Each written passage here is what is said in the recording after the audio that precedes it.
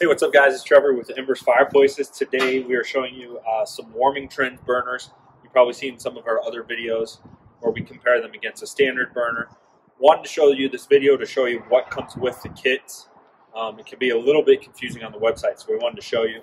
And then we also have their new uh, steel log that they came out with for their linear burner. We want to turn that on. It looks awesome, so we want to show that to you as well too. So essentially when you're on your website and you're trying to buy this burner, uh, you basically have three different ways you can buy it. You can buy just the burner itself. When you do that, you get just this brass burner, nothing else.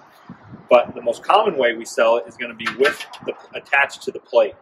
Now, what's nice when you do it attached to the plate is then this would just sit. We have it up on our forklift here, but this would just sit in your uh, finish work. You know, whether you're doing like a paver setup or a concrete uh, fire table, then this pan would just sit here, and then your media, you know, your lava rock, your modern crushed glass would sit on top of this pan.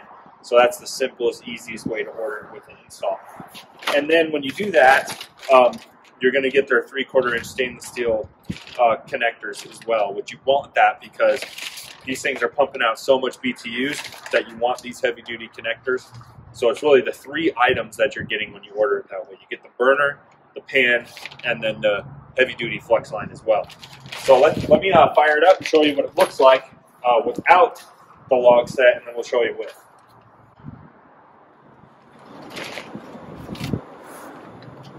So that's without the log. You can see pretty cool, pretty big burner, especially when the wind's not going. We're getting a nice big flame. So let's turn it off. Now let's put the log set on.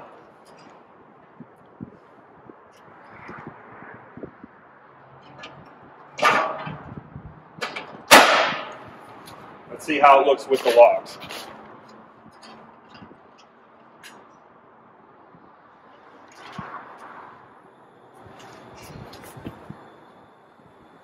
This is my first time actually seeing it.